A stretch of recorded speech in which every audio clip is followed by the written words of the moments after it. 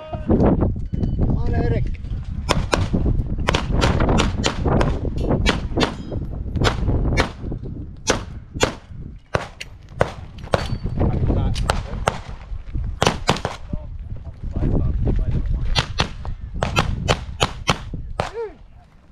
Then do the logical thing and take ESP and see what.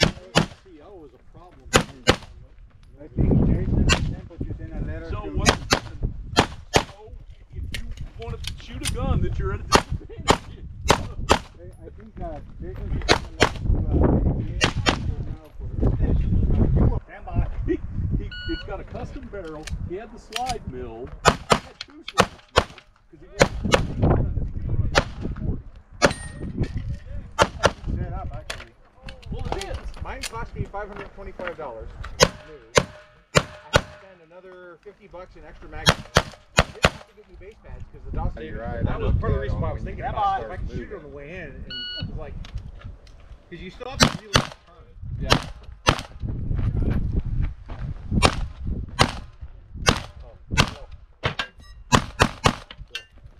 This is what I was talking about, about those foam wedges. Mm-hmm. So, this is what